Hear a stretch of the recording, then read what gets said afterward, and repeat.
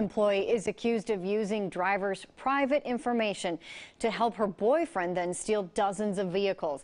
Valerie Applegate and Israel Fonseca were indicted on nearly 50 charges, including identity theft and receiving bribes.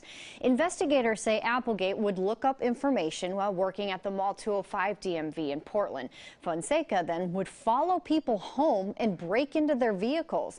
The Oregonian reports Applegate also sold driver's license information and took bribes to help people pass their driver's tests.